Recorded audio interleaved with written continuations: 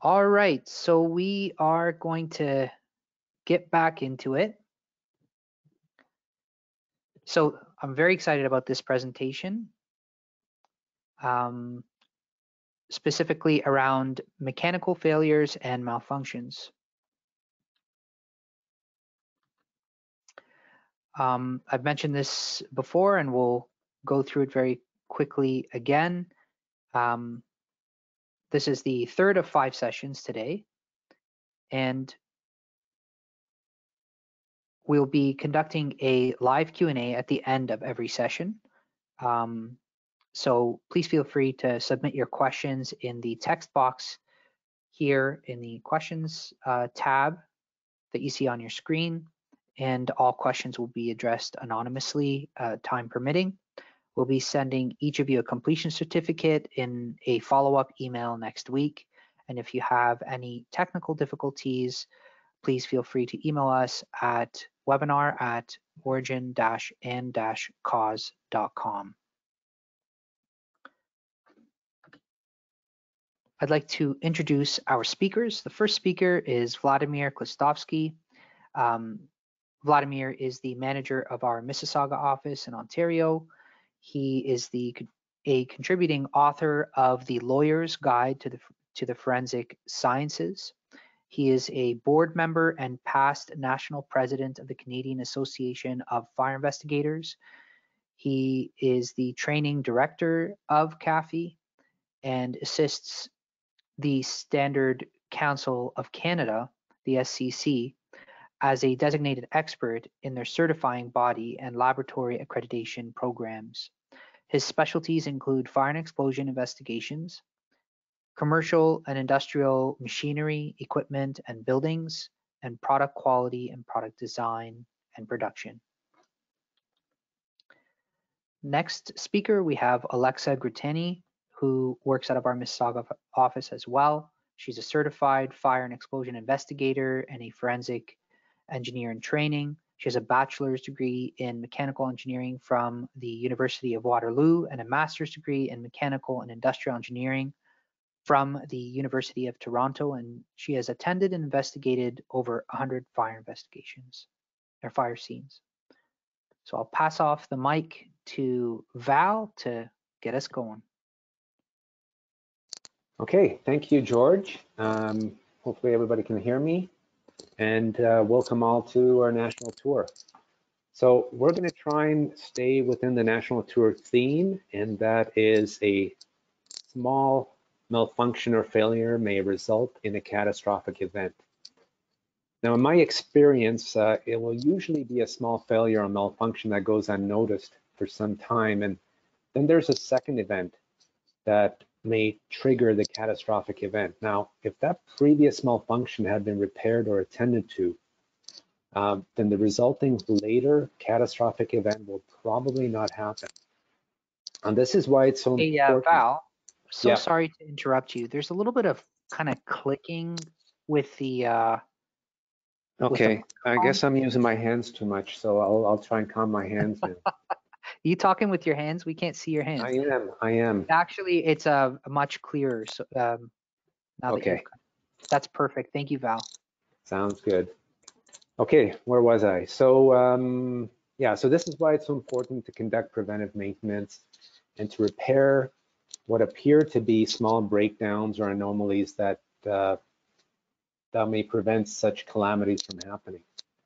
Now, many of you may relate that to maintaining maintaining your own car. Now, if you have your car serviced as recommended, you do your oil changes, replace tires, uh, do your regular brake jobs, uh, and you listen to those noises that may point to a bad bearing or early engine failure, and you'll probably prevent that catastrophic failure that may cost you thousands of dollars and sometimes even worse. Now, I'll draw your attention to the first uh, statement in our agenda here. That's a really good statement. Now, most mechanical devices have moving parts, and one would think that that the, these moving parts will eventually wear out. Now, we don't see a lot of failures, like insurance failures related to wear and tear, which may sound strange, but manufacturers will typically anticipate and they'll uh, typically anticipate wear and tear. So they'll design that that mechanical device. They'll they'll design it to make sure that there's no catastrophic loss at the end of life, or as as a result of breakdown. It and again, I'll draw you to that proper service and maintenance. If that's performed, typically wear and tear is not usually a factor, and and also reduces these these catastrophic events from happening. So in this presentation, um, we've, we've got three parts. So we're gonna first discuss common mechanical failures that lead to insurable losses. And that's gonna include, as far as mechanical, that's gonna include friction, loss of lubrication. We're gonna talk about fluid release and ignition, uh, which is mostly in vehicles. Uh, poor design, which will include improper material selection, improper tolerances, and improper assembly, and contamination, which is going to be foreign materials inside mechanical devices, foreign materials that don't belong inside of mechanical devices. And then we're going to look at two case studies, one having to do with pressure regulators and contamination. And second case study is going to be about a boiler failure. So let's start off with our item one. We're going to first talk about the typical uh, common mechanical failures and what we usually see in the field um, that has resulted in fires or, or catastrophic events. And I'm going to uh, pass the mic over to Alexa, who's going to talk about a few of those, and then I'll talk about the last one on the list and then present our first case study. So um, without further ado, um, Alexa, if you want to take take it away. Thank you. So the first common mechanical failure that we're looking at before our case studies is friction. And the example we're seeing here is a bearing failure. On the left, you know, we have a, a bearing, a wheel bearing that's still functioning and all the rollers are still intact. And on the right, we have a bearing that has failed, resulting in a fire. So a functioning wheel bearing is meant to reduce the friction between moving parts and constrains the motion to only what is desired and designed for in the machine. But bearing failure, which can be caused by foreign materials or corrosion, inadequate lubrication, um, etc. Um, regardless of what the cause is, when we're examining a bearing that was in a fire, we're looking for excessive wear of the bearing rollers or surfaces uh, because this can be evidence that the bearing failed. Since if the bearing was just in a fire and not the cause of it, we would not see the same type of excessive wear. Um, but a bearing that failed will have this excessive wear that will create an excess of friction and an excess of heat, which can then result in a fire. So in this example on the right, all of these rollers in the bearing oh, are no longer present because they've worn away, indicating that there was a bearing failure, whereas again on the left, they're all still present. And then another example of a friction failure in vehicles is brake drag. So again, on the left, we have brake pads that were attacked by fire, but did not experience brake drag. And then on the right, we have brake pads that did experience a brake drag failure and caused a fire. So when we're talking about brakes, um, they're transferring the kinetic energy of the vehicle to heat again through friction to slow the rotor. So some heat is normal. However, a failure of the brakes can again cause an excess of heat, which can cause a fire. Brake drag is when one or more of the brakes doesn't release when you take your foot off the pedal. And this can cause an excess of heat, especially if you don't realize uh, right away that the failure has happened. And so you're applying the accelerator and you keep going and it just keeps heating up until something catches fire from that excessive heat. So this excess of friction and heat um, will lead to the cracking and gouge marks that are evidence of excessive heat. And that's what we see here on this brake pad on the right. And that's what we're looking for to tell the difference between a brake pad that experienced brake drag causing a fire as opposed to a brake pad that was just attacked by fire. And then here we have the brake drums, which show the same sort of wear. Um, so the one on the right did undergo brake drag, and that's how we get this scoring and cracking from that excess of heat. And then on the left is the brake drum that was just exposed to fire and doesn't have that same damage. Another mechanical failure is fluid release. Um, so we have a failure that results in fluid release um, and that can be ignited on a hot surface. And vehicles are a really good example for this because almost every fluid on board a motor vehicle is flammable under the right conditions. So that can be the gasoline or diesel fuel. We have coolant, engine oil, everything listed there. So we have to examine every system when we're looking at a vehicle fire to determine whether any fluid was involved um, in the cause of the fire, but we also have to be careful because sometimes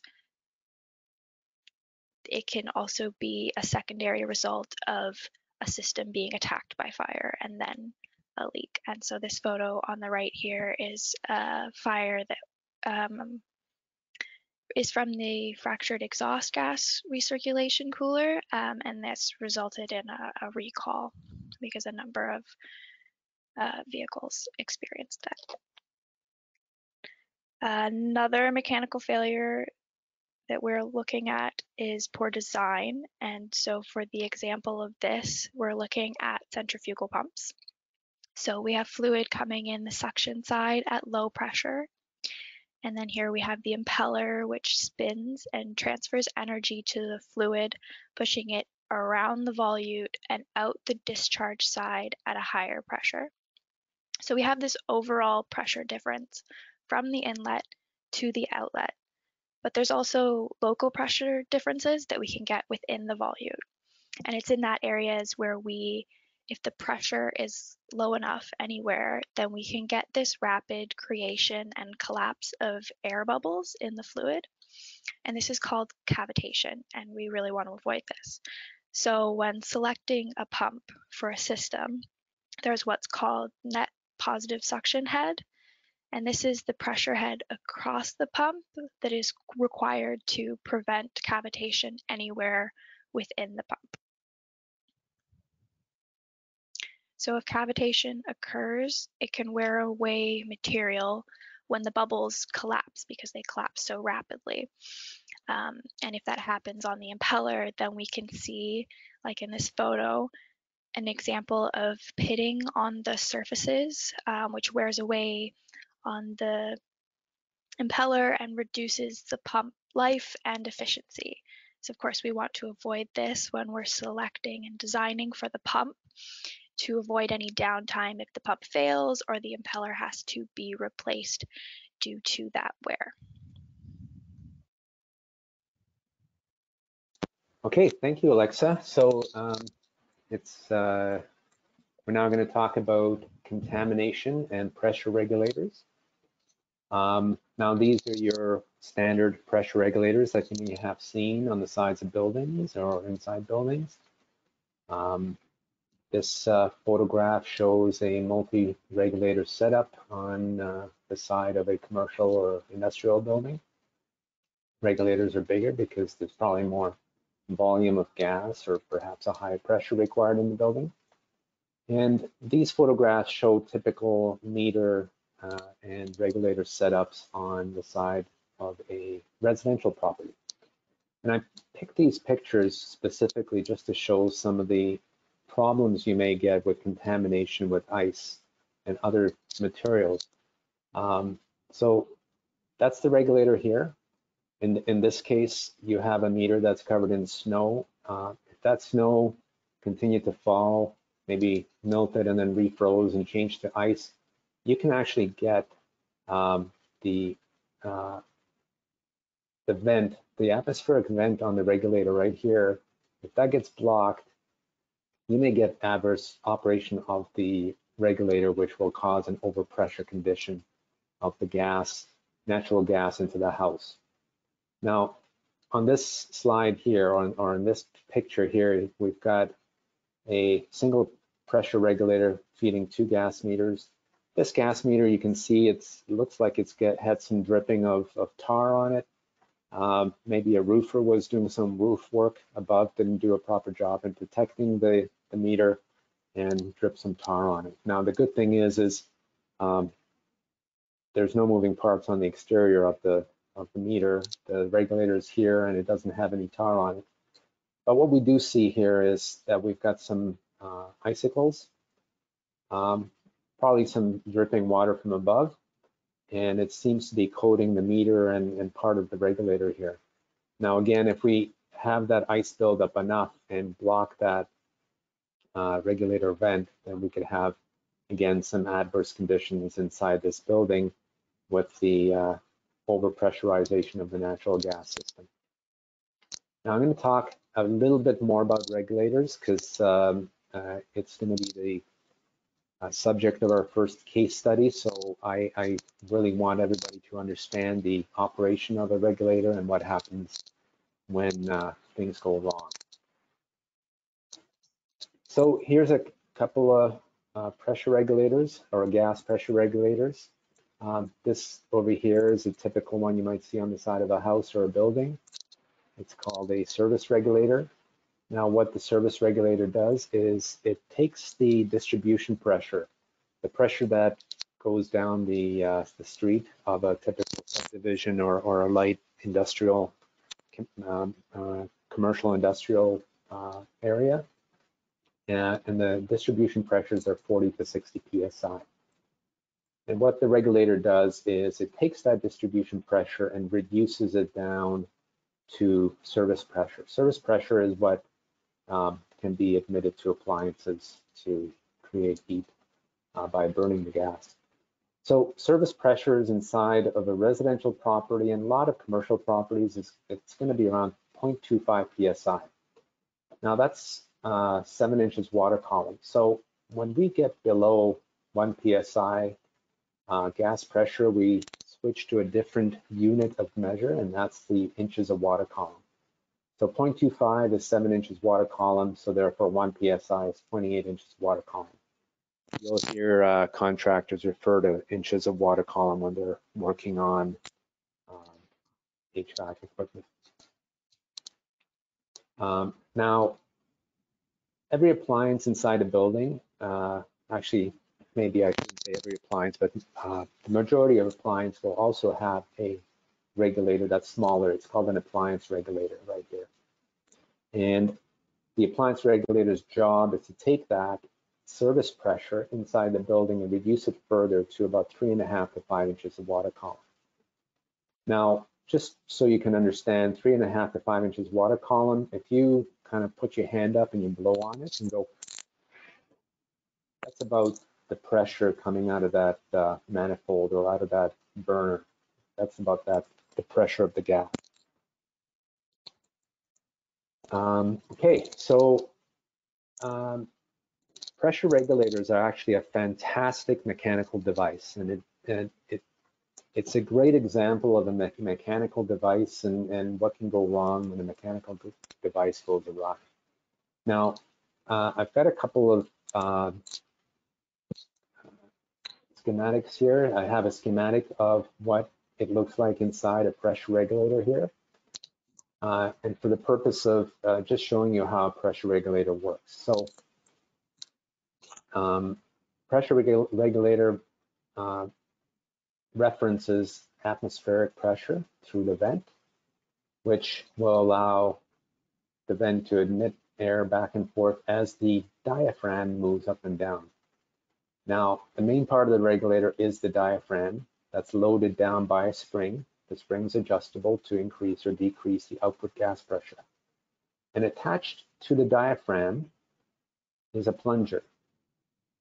And as the higher gas pressure comes down the line into the regulator, it, it goes into the body of the regulator, and that higher gas pressure is going to have a tendency to push the diaphragm upwards against the spring. And you can see that as it pushes the diaphragm up, it closes the plunger against the opening and it stops the admission of gas through the regulator. Now, as the pressure decreases inside the body of the regulator, the, the spring again pushes that diaphragm open and emits more gas. So the regulator will do this over and over, multiple times a second, and that diaphragm will move up and down. And the net effect or the end effect of that is that it allows gas to flow through, but it the output gas pressure is going to be at a lower pressure in reference to the inlet gas pressure. Now, uh, in addition, I, have I've got a cutaway of a regulator that, that is an actual regulator, and that, that's actually the subject of our case study. So in this case, you can see that there's a little bit more complexity here. Uh, we have a through pipe. Uh, we've got the inlet of the uh, higher gas pressure into the regulator through an orifice. And we've got this plunger here with a shaft and a uh, little lever mechanism. The lever mechanism is uh, pushed on and pulled on by the action of the uh, diaphragm. And again, you could see as the higher gas pressure comes into the body of the regulator, pushes that diaphragm up, which through the lever mechanism closes the orifice so it closes the plunger against the orifice. And again, doing that multiple times a second. And um, one function of the regulator too is that you can adjust, finally adjust the output gas pressure by adjusting the compression of the spring onto the diaphragm. You remove this cap and then you use a flat screwdriver to push uh, push down on the spring, actually uh, just closing this nut down and it results in a, a higher output gas pressures. Okay, and here's uh, that same uh, regulator uh, that I showed in the previous slide over here, taken apart. We can see the main part being the diaphragm, uh, made of rubber, so it's pliable. It, it can operate back and forth. You can see the main spring here on the atmospheric side, and you can see that nut that you can remove and adjust that spring pressure to adjust the output gas pressure out of the regulator. Here's that orifice, and the orifice is plugged by the plunger that's over here. You can see the orifice in here. And here's that lever mechanism that acts against the, the push rod and against the uh, plunger that admits gas and then stops gas through the regulator. Okay, uh, hopefully everybody understands uh, how the regulator works now and uh, how, uh, how, wonderful a device that is. Um, and uh, I think everybody here that's probably on will probably have a gas pressure re regulator at their house, whether it be uh, on a propane system or on a natural gas system. Actually, those of you that have an oil furnace may not have a pressure regulator. Okay, so rec uh, you'll recall that the vent of the regulator, if, if it gets plugged with snow or ice or debris, it's not going to work very well. And it may have an effect on the output gas pressure to the appliances that are inside that building. So we, received a notice of loss. Um, we had an insured that uh, reported that they were boiling some water on a, on a gas range. And suddenly they heard some hissing and, and the flame size increased on the range. Now, typical flame size on a gas range, on, on a burner on a gas range is you know half an inch to an inch. The insured reported that the flames were about four feet high.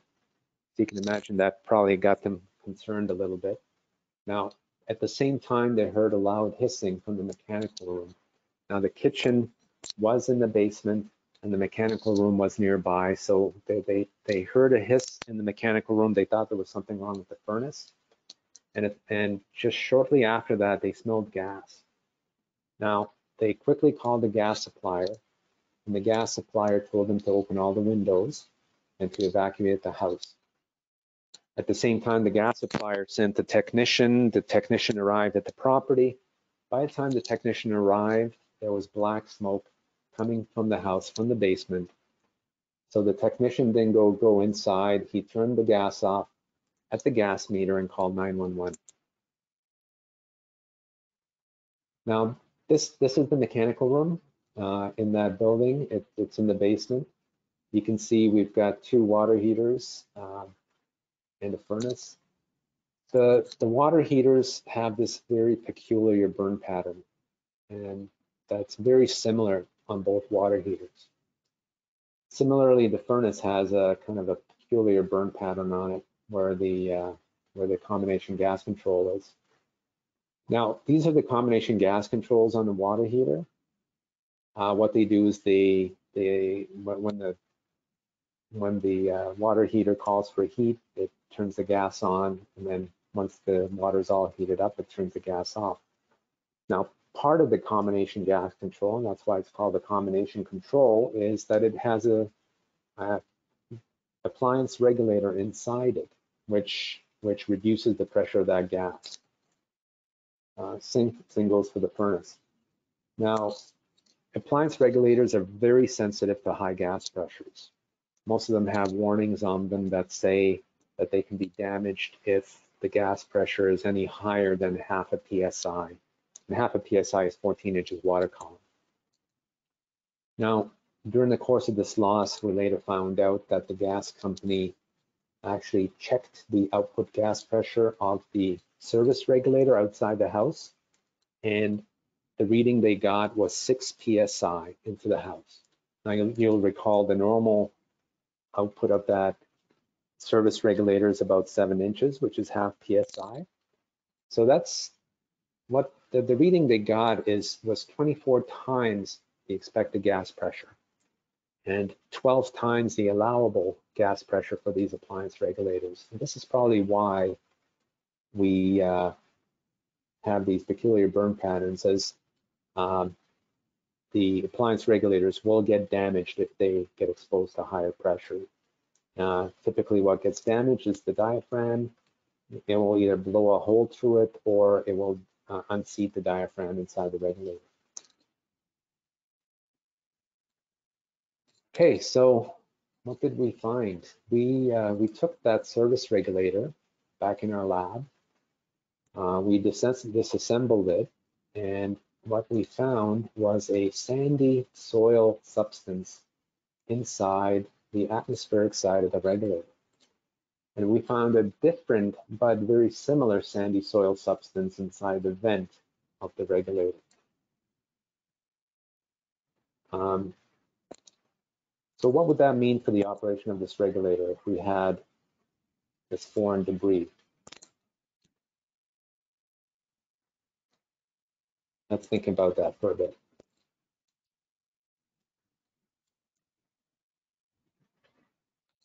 So it, it, was the first cold day of, of, the year with freezing temperatures. And uh, this is the debris we actually found inside. You can see that the debris, it looks kind of wet. It uh, being the first cold day of the year, it probably froze up.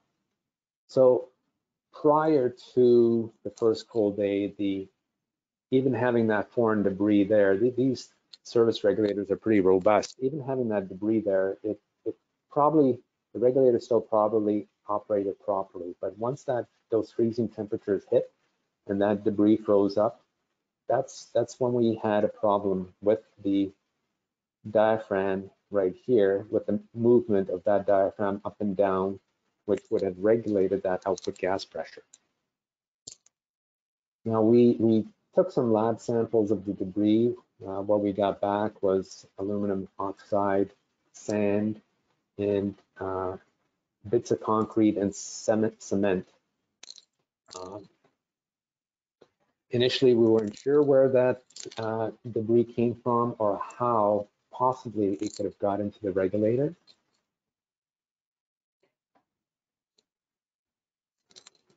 What we later found out through further study that, um, well, the fire was caused by an overpressure of the natural gas system.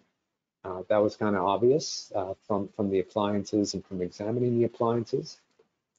The ignition source was probably from the uh, pilot flame, from the water heater, or from the main burner. Now, the ignition source may have also been through static discharge. Uh, we have found in the past that fugitive natural gas escaping at a certain velocity will cause static buildup on uh, nearby uh, materials, and that static uh, buildup will eventually discharge and ignite that gas. That could have been a potential ignition source as well. Now, what we found outside and this is actually where, where that regulator is located. Uh, double meter setup again. You can see that it's, it's really close to the concrete steps. And these concrete steps actually look very peculiarly new. Um, we later found out that the concrete steps were demolished and rebuilt uh, earlier that year by a concrete contractor and uh, the concrete contractor during demolition and casting the new steps likely didn't do a very good job in protecting protecting the, uh, the meters and and the regulator with something over top, be it a tarp or box or, or something. We also found that the, uh, the plastic cap where you can adjust that spring uh, to increase, decrease pressure, which actually opens up the regulator interior, was uh, probably missing, and that was the area that admitted the uh, foreign material into the regulator. Um, okay, uh, I'm going to pass the uh, mic to Alexa again, and Alexa is now going to talk to you about a high efficiency boiler failure. Thank you. Yeah, so our second case study is a high efficiency boiler.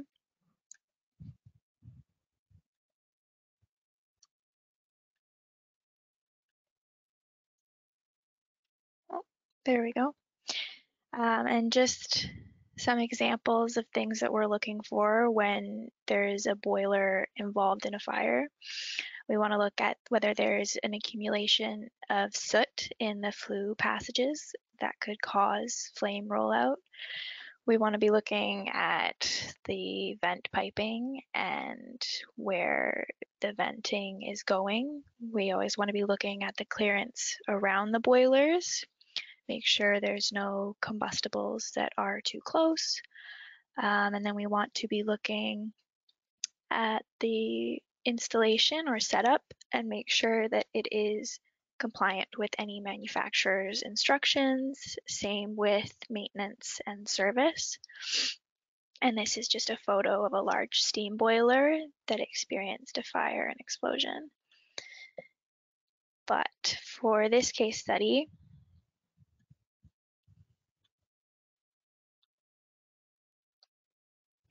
the notice of loss uh, was that we had a natural gas heating boiler in the basement of a commercial building. I believe it was a restaurant on the first floor and apartments above. So there was also an external water tank uh, that heats the water for all the tenants. Um, the boiler vented through PVC piping. Um, that hot water tank was heated by the boiler and was installed beside the boiler. And it had been serviced by an HVAC contractor several days prior to the incident. Um, they had been noticing some flow issues, so the service tech had installed an extra pump. So here are some photos of the boiler and we can note right away that the origin of the fire was in the area of the boiler control circuit board and this fire origin is based on where the most damage was located where the circuit board was. And this can suggest some kind of failure possibly being electrical from an overload or component failure so why are we looking at an electrical failure when we're talking about mechanical failures well the centrifugal pumps, which are the same kind of pumps that I was talking about before, um, have to be run by electric motors. So there's always this overlap of, or not always, but there's often an overlap of electrical and mechanical because just generally um, mechanical parts are moving parts and they often are run by electrical components. So in general, it's hard to have one without the other. So often the failures can overlap. But anyway, we did the site examination and that involved tracing out the electrical circuits between the circuit board and the external components, including the pumps. Um, and we compared this to the installation instructions and the boiler wiring diagram. And there were warnings in the installation manual that pump current maximum was 2.2 amps. Uh, we then checked the pumps that were connected to the boiler and found that two out of the three pumps were rated higher than 2.2 amps. So the two Armstrong pumps, the red ones in the photo, were rated for 0.75 amps, which resulted in an overcurrent condition um, that overloaded the circuit board. So this installation was not according to the installation instructions that came with the boiler. So it's a mechanical installation issue that caused an electrical failure. Um, and this is a different kind of failure, but these are also centrifugal pumps. Um, so in this case, a possible solution is that the pumps could have been wired through an external pump relay.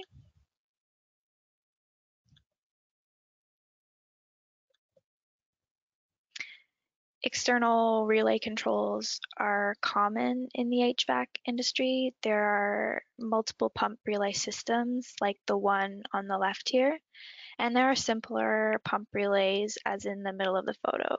But the theory behind the relay is that the boiler control board would be wired to the relay coil, which takes very little current to activate the contacts, which would then turn on the pumps. So the pumps would be wired externally through the relay contacts. Um, that way, the boiler control board would be within the manufacturer's specifications and but we would still be able to run the pumps that have a higher um, amp. So some takeaways. Um, when you get a failure, when you get a fire, we always want to be asking about recent service work on the system and any service documentation because um, that's really important background information. Um, and we don't want to assume that we know what started the fire and clean up everything else because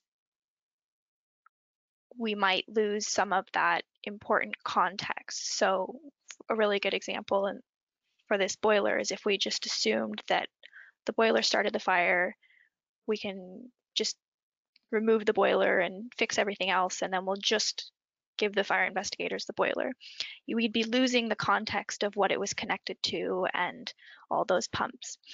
Um, so we don't want to have the contractor clean up the area or move or disassemble anything that may remove that context or evidence of how the failure occurred. Similarly, we don't want to have an electrician change the status of any breakers or restore power as that can similarly spoil the scene and reduce our chances of determining the cause.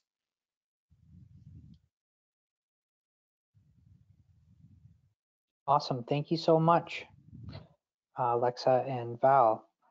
Um, so we're opening the floor for questions. Um, there are only a couple questions that have been submitted. So if you do have anything that you'd want to be answered, please uh, submit them now. I will start with the first question. Are there instances you can't tell if the component was attacked by fire versus the cause of a fire? And if so, does that result in an undetermined cause in your reports? Yeah, um, there are such instances, George. Um, and as Alexa pointed out uh, in the last slide, the the more the fire scene is left untouched and we're allowed or we're able to examine all the uh, components and subcomponents, the more we're able to figure that out. Um, as as in a lot of fires, we're always looking at um, we're looking at the fire patterns. We're doing uh, we're doing uh, wire tracing, arc mapping, and we're always asking us ourselves that question: Is is this is this damage as a as a result of the fire, or could it be as a cause of the fire? And it's it's by examining those components and the components related to it that we can test our hypotheses, um, uh, doing the sort of you know if it was this way, then what, what should it look like, or if it was the other way, what would what would it look like? So we're constantly testing our hypotheses in our head, the hypotheses that we uh, develop uh, in trying to figure out the cause of the fire. Uh, when I say hypotheses, it's the, the, the cause hypotheses. So as a fire investigator and as uh, failure ana analysis, uh, you're always looking at uh, at it that way. Great. Okay, uh, next question. Was anyone found at fault for the regulator? Was the contractor negligent or should someone else have flagged the missing cap which allowed the debris to enter? Excellent question. um, so uh, yes, on both counts. Um, the uh, regulator cap should have been flagged. Um, and typically the people that should have flagged that is the, the typically the meter readers for the gas company that come around every month and read that meter. Um, in the end, uh, the uh, responsible parties, um, it ended up being uh, two responsible parties, and they shared liability. And it was the concrete contractor and it was the gas supplier. Great, thank you. Um, is it possible that the boiler would have failed without the addition of the third pump since the original two pumps exceeded the allowable amps? Alexa, did you want me to answer that or did you want to go ahead? Um, it's possible, but not guaranteed because generally there's a safety factor on ratings. So we may have never reached something that would have resulted in a fire with just the two, but you, it's hard to know. I don't know if you have anything to add, Val. Yeah, so so the, the failure happened at the control board. The control board has uh, copper traces on it. And those copper traces are rated for a certain current. And in, in this case, uh, like Alexa said, the, the, the current rating of those copper traces uh, and the copper traces are the ones that admit the current through them to control the on and off operation of those pumps. Um, the manufacturer had designated it as 2.2 amps. And like Alexa said, there is a factor of safety. May, maybe that trace could have ran three or four amps. In this case, the, the one amp, uh, sorry, the one pump was 4.75 amps. So I, I, I figure that we probably would have had the same failure, but maybe would would have taken longer. Now putting the two pumps on that um, uh, probably caused that failure to happen quicker. So it's all matter of uh, you know exceeding the current, but also matter of time. Okay, great. Thank you so much, uh, Alexa and Vladimir. Um, guys, I have their contact information on the screen now. We're going to be taking a half an hour break um, as per the schedule, and we'll be starting the next session um, on the hour. So thank you again, speakers, and uh, everybody enjoy your break.